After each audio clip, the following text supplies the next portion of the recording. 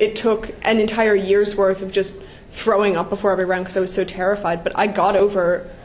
I, I got over my fear of it, and then it just became something that I would rather go to a tournament every weekend than have a social life.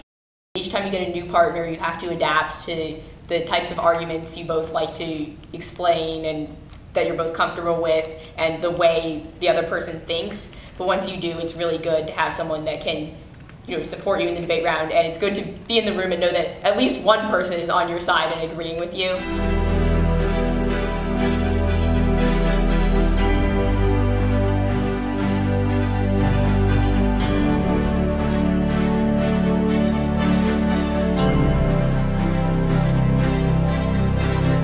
Can you state the topic?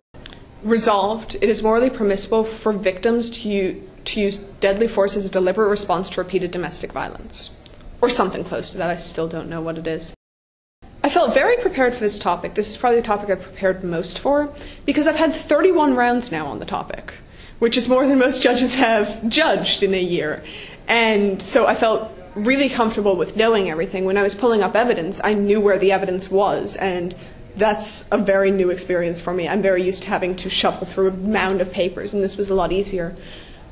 I don't really know what side I fall on on this topic. I think I fall on the negative side more, but for none of the reasons I'm advocating. I'm not saying that like every single person is going to have the same moral like view. I'm saying that uh, every single under every single moral system of every individual, self-defense will be permitted.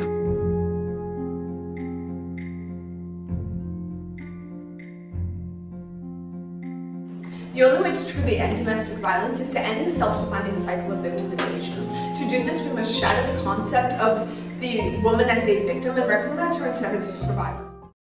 You see the way that what you're talking about in the round works in real life, and I think especially with Lincoln Douglas because because what we're talking about are the philosophical issues behind the cases instead of the cases themselves. The burden of the negative is to prove the resolution doctrine.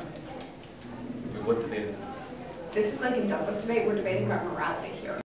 I'm being reciprocal because I'm giving the victim right to attack back.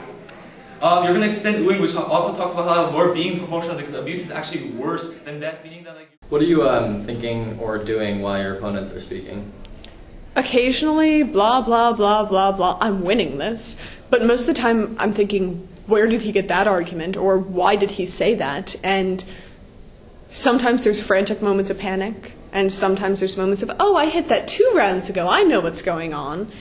But most of the time, it's frantic panic. She assumes that I'm generalizing. She's also generalizing everything. You're not going to vote for me. Vote me off there. There were, I gave him an extra seven seconds because there were Oh. about seven seconds there where Yeah. you were like not sure what was going on. It's no problem, man. So, what's it like debating with a partner? I personally really like having a partner because when I screw up, she can cover my screw ups and and vice versa. And I also like the idea of we don't think the same way, and so I am an incredibly logical thinker, and so if something is stated abstractly, she thinks about it a little differently, and so we come at the problem from different angles, and that generally leads to a better solution. Versus LD, where you just have one partner, and it's more sort of kind of it's all on you and that's not a bad thing necessarily but it's nice to have like something to like balance out your ideas to make sure you cover the spectrum of what your responses should be Um, how do you feel after you win a debate and after you lose a debate? Um, so obviously, it's great to win a debate. You feel pretty happy. Um, sometimes you feel like maybe the judge made a weird decision, like you won, but you think you should have won on something else, and so that can be a bit odd because you're happy you won, but you're also kind of like, what's going on?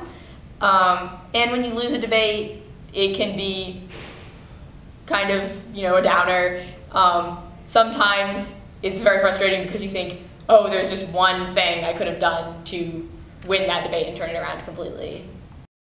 winning a debate is pretty exciting but i don't think i really learn anything when i do that because as soon as i hear like i voted or i voted neg and that's the side we're on i kind of stop listening to why the judge voted which probably isn't the best but when we lose a round i listen very carefully to what the judge had to say